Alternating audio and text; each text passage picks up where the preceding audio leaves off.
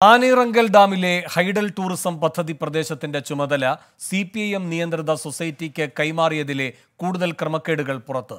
ചുമതല കൈമാറിയത് ബോർഡിന്റെ ഉത്തരവ് അട്ടിമറിച്ച്.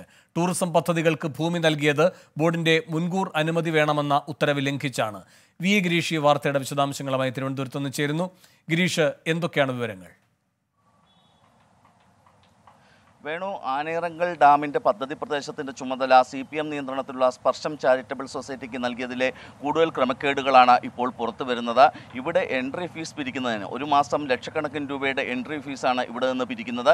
ഇത് പിരിക്കുന്നതിനുള്ള അധികാരവും അതോടൊപ്പം തന്നെ ഡാമിന്റെ സുരക്ഷാ ചുമതലയുമാണ് ഇത്തരത്തിൽ സ്പർശം ചാരിറ്റബിൾ സൊസൈറ്റിക്ക് നൽകിയത്. ഇത് ബോർഡിന്റെ ചട്ടങ്ങളും മാനദണ്ഡങ്ങളും ബോർഡ് ഉത്തരവുകളും അട്ടിമറിച്ചാണ് എന്ന് തെളിയിക്കുന്ന രേഖകളാണ് ഇപ്പോൾ പുറത്തു വരുന്നത്. രണ്ടായിരത്തി മാർച്ച് മുപ്പതിന് ബോർഡ് ഇറക്കിയ ഉത്തരവനുസരിച്ച് doctor B Ashok K S C ബിയുടെ മാനേജിംഗ് ഡയറക്ടറായിരുന്നപ്പോൾ ഇറക്കിയ ഉത്തരവനുസരിച്ച് ബോർഡിന്റെ ഭൂമിയിൽ ഏതെങ്കിലും തരത്തിലുള്ള ഹൈഡൽ ടൂറിസം പദ്ധതികൾ നടത്തുന്നതിനോ അത് നടത്തിപ്പവകാശം മറ്റാർക്കെങ്കിലും നൽകുന്നതിനോ ബോർഡിന്റെ മുൻകൂർ അനുമതി വേണം എന്ന ഒരു ഉത്തരവ് പുറപ്പെടുവിച്ചിരുന്നു. എന്നാൽ ഈ ചട്ടങ്ങളൊന്നും തന്നെ പാലിക്കാതെയാണ് ഇപ്പോൾ അറുന്നൂറ്റി അറു അറുന്നൂറ്റി പതിനൊന്ന് ഹെക്ടർ ഭൂമിയുടെ ചുമതല മുഴുവൻ സ്പർശം ചാരിറ്റബിൾ സൊസൈറ്റി എന്ന സി പി എം നിയന്ത്രണത്തിലുള്ള ഒരു സൊസൈറ്റിക്ക് നൽകിക്കൊണ്ട് ഈ ഹൈഡൽ ടൂറിസം കേന്ദ്രം ഉത്തരവിറക്കിയിരിക്കുന്നത്. ബോർഡിന്റെ ഉത്തരവ് ഇക്കാര്യത്തിൽ ഹൈഡൽ ടൂറിസം കേന്ദ്രം അട്ടിമറിച്ചിരിക്കുന്നു. അതോടൊപ്പം ഏറ്റവും പ്രധാനമായിട്ടുള്ളത് തന്ത്രപ്രധാനമായ ഡാമിന്റെ സുരക്ഷ.